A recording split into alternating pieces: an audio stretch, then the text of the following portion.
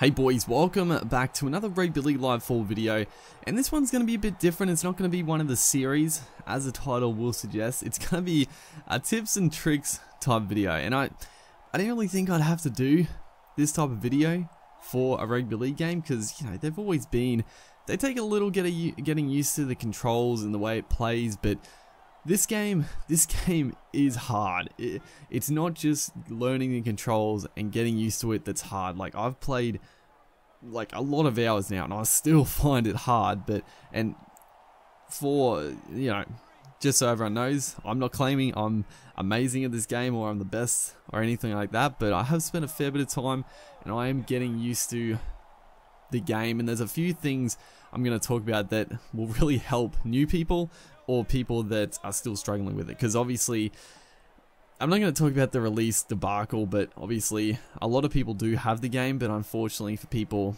that are waiting for the Australian release, it's coming out like 28th still. So it's very, very weird. But, you know, I think it's a pretty good time to actually make a video like this because, you know, people that are getting into, I think this will help you guys out a lot. Um, so the first thing I will say, the first thing I will say is the kicking is a big one, right? The kicking is very, very difficult to get used to, and I I didn't understand the kicking to start with. I mean, I understood the kicking, but there's a little um, aspect of it that you don't really, you wouldn't really know about unless you you just happen to see it or you you you know someone else told you and that is being able to charge up the kick before you actually take possession. So I, even like the first few games I played I was constantly complaining about they need to nerf how quick the AI can get off the line and tackle you because you just couldn't get a kick away. Like I was I was getting tackled every single time before I could kick the ball but what you have to do is it's the same controls for kicking. Um, the indication for where the ball is going to land is a is is different, and it's actually a lot harder to actually kick where you want to. I found, but um, the the same controls. So pretty much my method is, well, well, first off, if you wait for your player to catch, like what you would think would happen, you call for the pass on last tackle, whatever. Your player catches the ball, and then you line up the kick. Do not, if you do that, you'll get extremely frustrated because you'll constantly get tackled, you'll lose the ball, and it's not a good time. It's not a good time. I was getting super frustrated with it, but my little tactic now is you don't want to do it too early, um, but generally I do it call for the ball as a playmaker, and then pretty much as soon as the dummy half throws the pass, I'll hold L2 and then whatever kick it is, either the punt, which is X. It's the same controls as Rugby League Live 3 for the kick, so but I just I, I charge it up and I hold it down before the ball gets to me. So that is that is probably the one of the biggest tips I'll give you guys because the kicking was extremely frustrating. Um, and and it is a little bit different because this time there is like a bar underneath your player, but that is for accuracy. So when you hold down the X button, it charges up the accuracy. That's not the power meter. The power meter is the circle that you move with the left analog stick. So you can you can kick it away a bit earlier with um with reduced uh, what's it called, accuracy. But with this little tactic of doing it early, you can generally uh, get a good kick away. Um, that's what I found anyway. Another big one, I'm, I'm going through a couple of the little annoyances people are saying about the game. So the next one is players being offside. Now I've seen this a few times and I've I've come across this a few times with like markers and players just being offside. It's another one that I was getting very frustrated with, but the one thing I think just happens is that occasionally you have to just accept that occasionally your markers are going to be offside. And I, I think it's I think the game does this on purpose because the AI is occasionally like that as well, and you can take advantage, and it happens to you. Now, it looks a little strange because, you know, the play the balls are fairly slow, so you're like, why, why are my markers offside? But I think it's just the game is making dummy half running a little bit more, you know, viable, so occasionally the markers will just be offside. There's nothing you can really do about that. But the other one that was annoying me, and I've, I've seen other people talk about, is if you're controlling a player, he'll just stand there and he'll be offside. And it's very different. Like, it is it is quite annoying. Like I don't know I don't know why they they really did like this because in previous games, if you're controlling a player and you went up like let's say you went up to make a tackle and you you didn't have to get involved. If you were still on that play and you didn't touch him, he would just go back into the defensive line or he would go to marker wherever wherever he would go. But in this game, if you're controlling the player, you have full control. Like the the AI will not get involved. You literally have to move the player back into position, otherwise he'll just stand there, and uh, it can be fr quite frustrating because you know you're trying to focus on the other defensive line. Um, and that sort of stuff, but you got this player just standing offside. Um, so my general rule with that, you know, you can manually just move him back into the line, but generally I'll just like switch players to, um, you know, just someone out of the way, someone already on side, just so the AI gets them back to where they're supposed to go.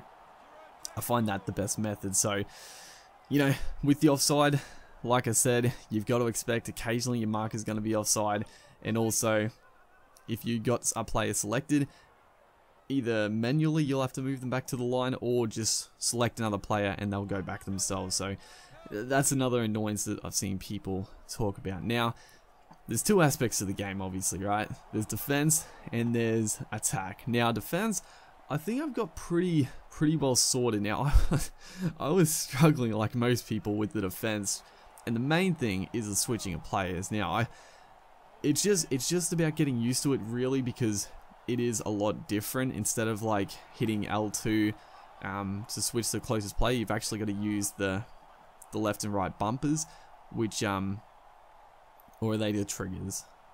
I don't know. It's L1 and R1. I don't know. I don't know which way they are, but you got to hit those ones, and it it might not seem awkward, but when you actually play it, it's extremely awkward. And there's another big mechanic in the game, which is and the reason why they had to change it is because of the controlled tackle, which is very, very vital if you want to defend well in this game. So you hold the L2 button, and that's sort of like, it slows the movement of your player, it compresses the defenders around him, and also gives you like the ability to strafe back and forth.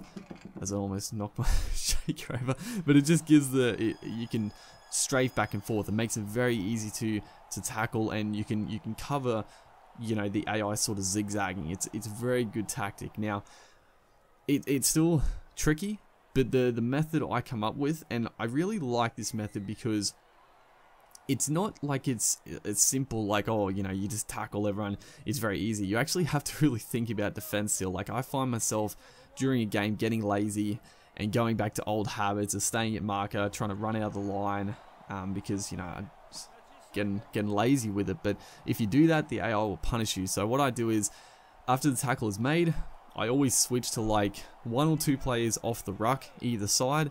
I, I try to pick what side the AI is going to attack. It doesn't always happen, but I try to pick the side they're going to attack just so I've already got the player selected. Um, and you can you can get a good grasp of where the AI is going to attack. They generally go to the open side. They do occasionally attack the blind side, but rule of thumb is they go to the open side. And also, if you see like the sort of like set play lined up, then pretty safe bet that they're going to attack there. So, switch to a player, one or two off the ruck, and then as soon as the ball is passed, if you know if they attack that side, I've already got the man on. I just hold left uh, L2 down straight away. It, uh, it slows it down, it compresses the defense, and then I just strafe back and forth, pretty simple. If they pass to the other side of the field, I quickly press R1. Not too quickly, because then you'll just switch to the markers, but when they get a little bit of distance, hit the R1 button, switch the player directly in front of the attacker, hold L2, strafe back and forth, and and make the tackle. It's it's just about getting used to that sort of combination. It's just a com like it's a simple combination. It's just R1 to the closest player, hold L2, and just uh, make the tackle. And obviously, the AI throws a few passes, so you've got to you got to be ready. If they do another pass from that, you got to hit L1, uh, R1 again.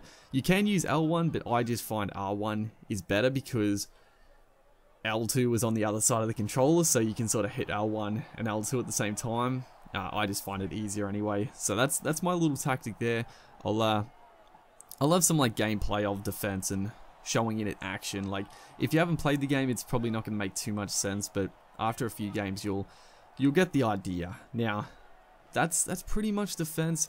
Um, I guess another big one also that's very, very tricky to defend. Now, that's the front line defense.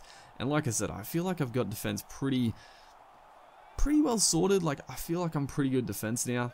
Um, but the one really tricky area, and I still, I haven't mastered it yet, it's just hard to do, and that is when a player makes a, a break into the backfield.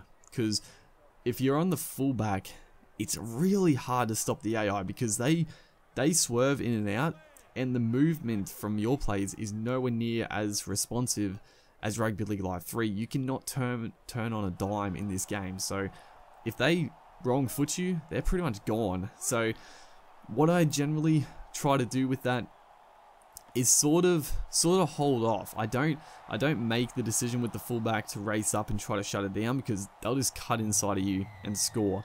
I generally try to hold off a little bit, wait to see if the the frontline AI defenders can come back and stop him, and if I'm needed, you know, just sort of hurt him to a side or something like that. Don't don't rush up and try to stop the play. That's that's pretty much all I can say about the fullback um, positioning. It, it is tricky, yeah, but and sometimes you do get a little bit excited and trying to rush up with the fullback to put a hit on. It doesn't it doesn't usually end up well. Um, so that's defense. The other big aspect, obviously, is attack. Now, attack attack, I think I'm finally starting to get a little bit proficient with it.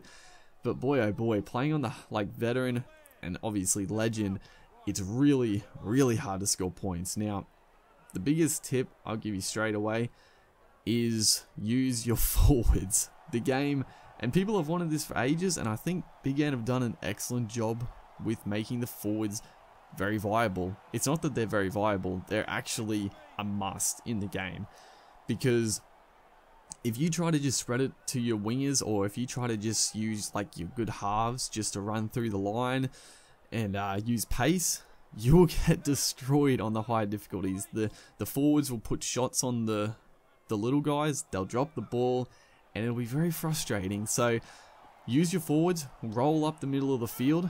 That's the biggest tip I'll give you. Um, use the driving mechanic, which is the R uh, the right analog stick, as soon as you make contact with the defender, hits up on the right analog stick and, you know, if you can, drive forward in the tackle. Gives you like a good extra few meters. Um, and it's actually like pretty, it's it's very important actually. Um, so that's that's the biggest tip. Use your forwards. And yeah, like I said at the start, um, it play, plays completely different to Rugby League Live 3. So pretty much everything you learn from that game just forget about it because if you try to play the same as that game, you'll get destroyed, honestly. Because some of the, you know, some of the more tactics from that game, I guess, was hot potato footy, offloading, um, long balls out to your wingers and stuff. It doesn't work in this game.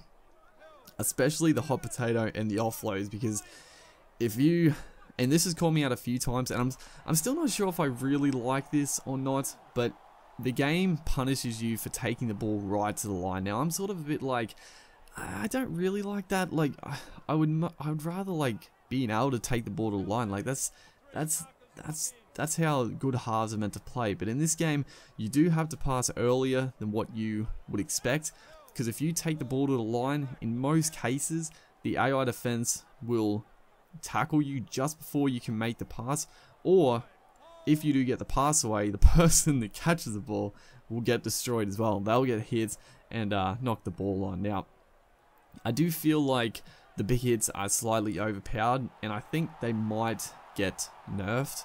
I, I sort of, I do hope they get nerfed because it does make that play closer to the line just sort of impossible because if you get the pass away, the AI on high difficulties just puts a hit on more often than not and you'll drop the ball. So play early, um, use your forwards, and uh, you know, offloading is is fairly risky. I mean, it, it, it says in the you know the instructions offload early, and that that seems like a must. If you if you're in the tackle animation and you think about offloading, you give it a second, don't offload because if you take a second longer and then offload the ball, like nine times out of ten it goes forward. Um, so you know if you got a bit of room and you're ready for the tackle and you offload it straight away, generally they go backwards and you you know you can play on from that but yeah if you if you delay a little bit if you hesitate just just hold the ball just take the tackle. The the game is heavily uh, incentivized to play field position. So other tips I guess is kick early. You know use your use your um use your forwards to roll up the roll up the field a bit and then kick early. Kick early is a is a big one because you know the big hits are slightly overpowered, but they're also sort of overpowered for you as well. Because if you kick early, get the AI um, in their zone, then you know you can get out of the line and put a big hit on. Obviously, use the tips I said in defense, but uh, there is a strategy to if you can read the play, coming out of the line and putting a hit on, trying to turn the uh, turn the ball over. But uh, yeah, it, it's obviously a risk at the same time. But uh, other things with attack, the other thing I found the step, the step is really powerful in this game. Now, I'm I'm happy about that because if the step wasn't as good as it is, I don't think I would ever like get any line breaks, dude. It's crazy. Um, you know, you use the step with your outside backs. It's it's very very important.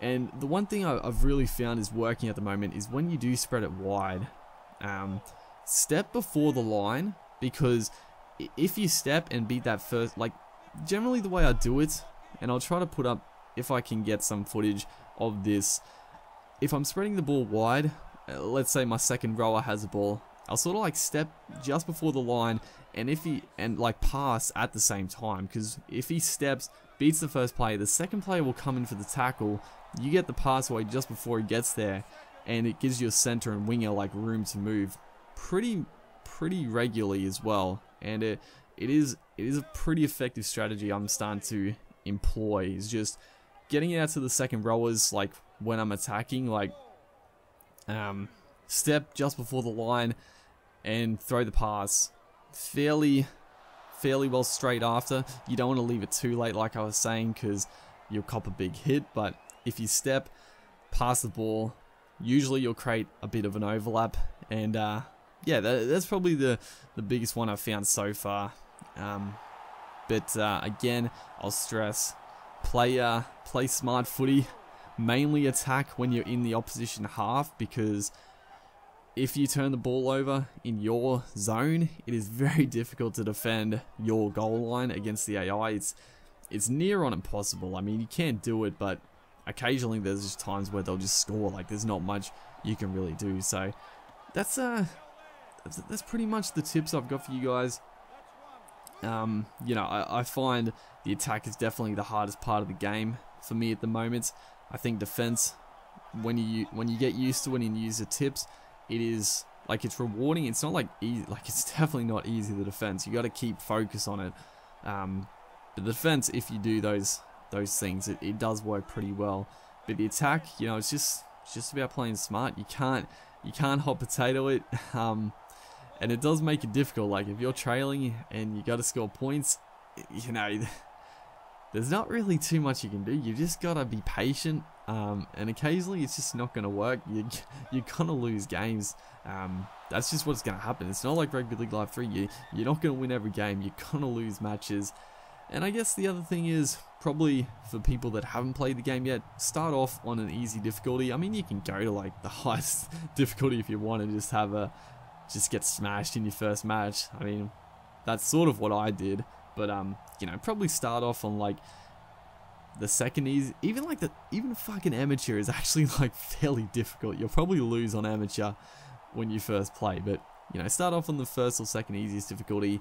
Just get the controls because the controls are fairly different. The movement is a lot different, and uh, you know, practice your practice the running lines and what works and what doesn't. But uh, yeah, hopefully guys got something out of this. Pretty long video, but um, yeah, I just thought it might might help out some people that may be struggling, or you know, the guys that haven't quite played the game yet. Some good tips to to go into it. But yeah, it's it's it's a good challenge. I'm uh, I am thoroughly enjoying a challenging rugby league game. But yeah, other than that, hopefully you guys enjoyed.